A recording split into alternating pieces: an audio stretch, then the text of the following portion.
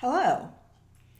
In this video, we're going to look at all the text properties that you need to know. Text and font CSS properties, even though there are now about 40 different properties available to us, a lot of them are obscure, rarely needed, not widely supported in the browsers. So what I'm going to cover in this video is pretty much everything you need to know about text and font properties, with one exception. We have covered font family in a previous video, so we're not covering that in this video. What we will cover is these properties, and we are going to apply them to a particular paragraph in the page you see on the left. That paragraph has been given a class of special. So I'll show that to you. So only the one paragraph has that class on it. The other four paragraphs do not. And so we'll apply them one at a time so you can see what they do. So text size, if we want to increase the text size, we can do that with percent. So let's see what 150% looks like. I save and I reload, and there's our special paragraph, the only one affected. So that's 150%. Not very surprising, okay? Uh, but what you may not realize is 150% is the same as 1.5 rem. And rems are really preferred nowadays. So I'll reload and you see it's the same. Now in this case, it would also be the same as 1.5m. Reload, same, okay? Um, but I would say that for most cases, most times you're going to make the size of any font for a heading, for paragraphs, for the whole body uh, larger or smaller. You want to use rems. You definitely never use pixels, px, in fact, the only things that you can use legitimately in 2018 for text size are percent %m and rem. Don't use any other measurements to change the size of a font. So I'm going to change that back to inherit, which is the default, which means no change from anything else and I'm going to reset our page. So I'll do this after each thing. Now, font weight. Uh, the default is normal. So that's what we see here. This is font weight normal.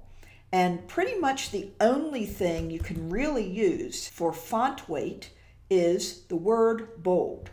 And I will show you what that looks like.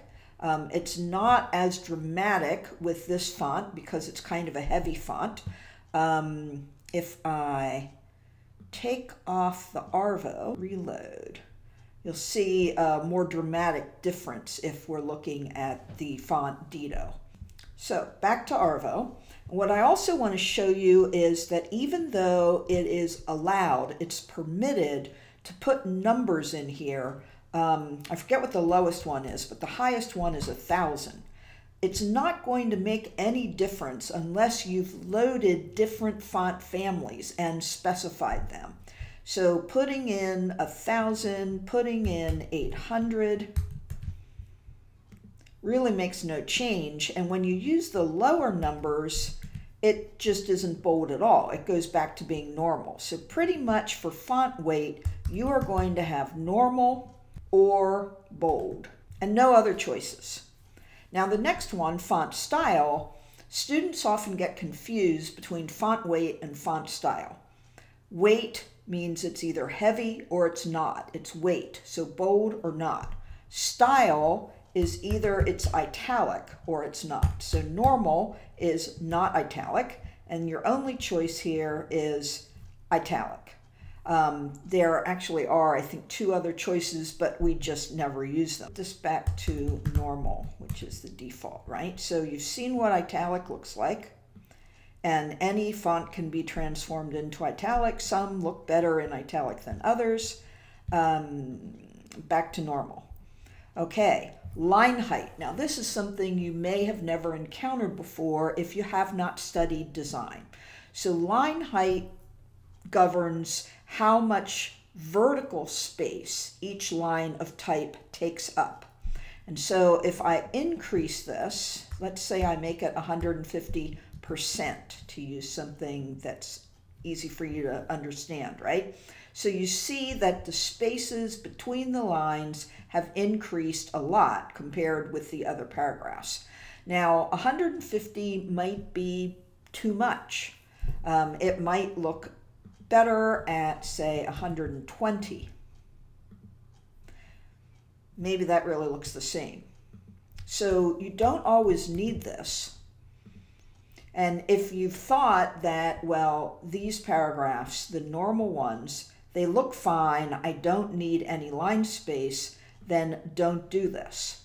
But sometimes you might actually want to pad it out a little bit because perhaps your font is quite small and if you put a little extra line space in, it becomes easier to read.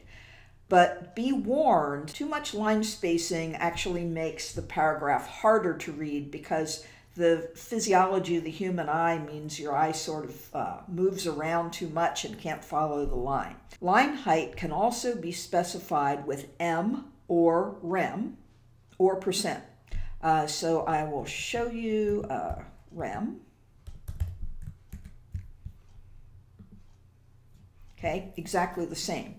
But one of the things about using M is if you have changed the font size using rem, M or percent, uh, so let's say we make the font size um, 1.6 rem. And we put the line height back to normal for a moment. Okay, so I've got a bigger font size here. It can be better to use M's for the line height because they will be relative to the font size that you've changed it to. So if I used rem in this case, rem, quite different because now I'm using the root m, which is smaller than this. The root m is 1 rem, okay? So by putting in 1.5 rem based on the root, I'm actually squishing the lines together because they've become bigger than that. So line height, I would recommend you either use M or percent, which might be easier for you to figure out. And that will be based on what is the line height in this item already. So let's put those back. Okay, so now I will reload the page and we're back to normal. Everything is the defaults. Now, text align left is the default. So if I remove this line and I save my CSS and I reload, there is no change.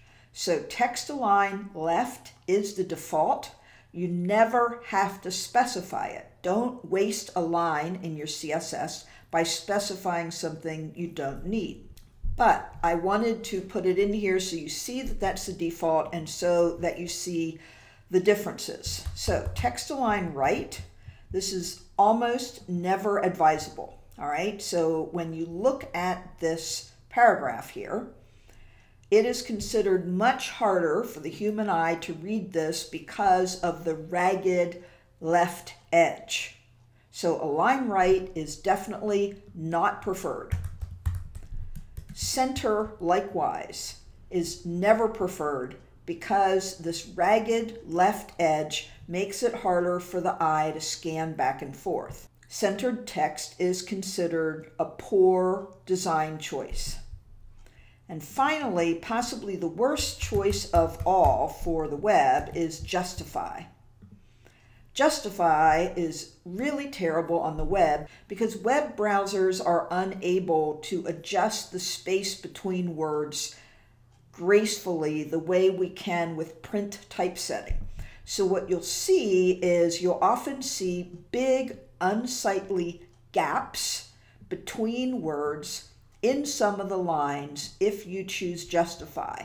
And those also make it harder for the human eye to like stay on the line and concentrate and actually read um, without a lot of effort. So the best of all is left. That is the normal, that is the default, and I cannot emphasize enough that you should almost never specify text align, just leave it at the default, which is left. Okay, text decoration. We usually see text decoration on links, that is on the pseudo classes, uh, link, hover, focus, etc. So the thing that we often see is underline. And since links are underlined by default, we can use text decoration none to take off that default when it is a link.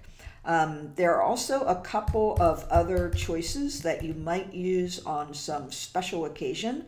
Overline and line through can be good sometimes if you've done some editing and you want to show, you want to preserve that previously incorrect text and show people that you've cut it out and then explain afterward, you know, this is incorrect and here's the correct version. Um, there is also a funky, funny, weird thing that we can do with text decoration. And that is we can specify three values, a little bit like uh, specifying border values. So we can say underline, and then we can say wavy or any of several other possible values for what kind of underline it is. And then the fourth one would be your typical hex code for color. So I'm going to save and reload, and you can see that that would be a weird kind of thing that you could do. And I'm going to um, zoom in a little bit so you can just see how that looks, that text underline.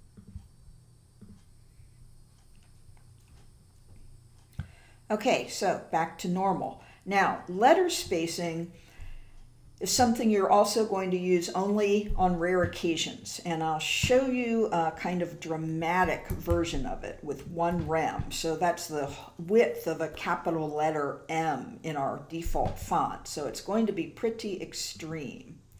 All right, very extreme. So it means spaces between the letters. Now, if you were going to use it at all, you would probably use 0.1 M more likely than 1 M. So let's see how that looks. It still doesn't look very good with this particular font family that we've got. And in fact, you would almost never, possibly never, use letter spacing in a paragraph or, you know, with a paragraph style text, smaller text.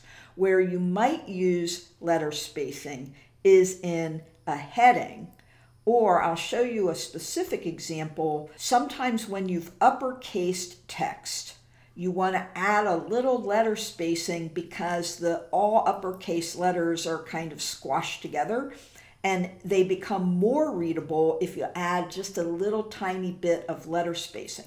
But before I show you that, I want to show you how text transform works. So I can make everything in my special paragraph uppercase by using the text transform property. I could also make it all uh, initial caps. The value for that is capitalize. That can be useful in headings. It can make your website more consistent. If you wanted to have headings always have the uh, title case style, you could use text transform capitalize. And the default is none, so we'll go back to that. And let me skip over to my other example to show you how letter spacing and text transform might work together. So here we have a part of what might be a navigation bar at the top of a page. And in fact, it's similar to something you saw in an earlier video if you've been watching all of them. So here they are three words, upper and lower case, initial cap, everything else lowercase. So this is a case where you might have decided, I really might want those to be all uppercase, do I have to open the HTML and change them? And do I have to change them on multiple pages and so forth? Well, no, you don't. You can just go into your CSS. Those three words are governed by the LIs because they are in LI elements. And so the first thing I can do is take the comment characters off of this line and save and reload. And so now we've got uppercase. But you see how uppercase letters are, they make things a bit hard to read, and that's partly because they're very close together and it's harder for the eye to sort of pick them out and tell them apart. So if we add a little bit of letter spacing. This is a time when letter spacing might be a really good choice. So I've saved my CSS and I've got a letter spacing of 0.1 m. And I used m's because my font size is already you know larger. So m's are good in this case. And I reload and they become just a little bit easier to read. Of course, the words become wider because I'm adding a tenth of an M of space between every two letters, right? So that's what just happened. So letter spacing can be really useful uh, in rare cases, but just keep it in the back of your mind that you are able to use this CSS property. So now let's return to our uh, main example. And the last property that we haven't covered is text shadow. And again, this is something you're not going to use often because text shadow looks kind of cheesy in a lot of cases. Um, but I'm going to show you what it looks like. And I think before we do it, we should increase our font size. Text shadow has four possible values. The first two values govern the width of the shadow to the left of the letter and below the letter. In this case, sometimes pixels may be more suitable than ems or rems. The third value is the amount of blur on this color that you're going to use as the shadow. So I'm going to use two pixels for that. And I'm going to use a dark gray, not a black, well, a medium gray. And you see what happened, right? Now I'm going to both increase the blur and I'm going to lighten the gray color and reload. Okay, it's still pretty subtle. Increase the number of pixels, starting to look more like a blur. And then I can also try to give it a, a different a color, not a gray, um, but a blue. Very, very subtle. I'm not sure if you can even really see that in the video. Um, let's try something a little more extreme. Okay, you need to understand that you can continue to adjust the color, the offset, both to the right side and to the bottom, the blur, and continue to reload until you get an effect that's what you want. Now, like I said, you typically will not use this. Sometimes we use a text shadow to uh, improve contrast when our text and our background are too close together. Instead of changing the shade of one or the other, we might add a shadow to make the contrast appear to be greater. If I change my text color to a brown, that probably will not stand out very well against my background. But if I give it a darker text shadow, I might be able to make that work. I'm not saying this is ideal, but it's one example of how we might use text shadow. We don't usually go all the way to black, but sometime you might, right? So that is all we have for the text and font properties that are commonly used. That's really all you need to know. And of course, you can look up how to use them when you need them. You don't have to memorize them all.